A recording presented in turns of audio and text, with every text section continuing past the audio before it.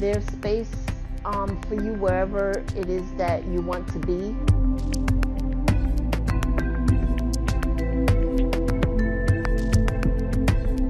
My last barbershop, honestly, truly, was predominantly straight men. I didn't feel like I had to come in here and like put on a face or like I wasn't going to be accepted in any kind of way.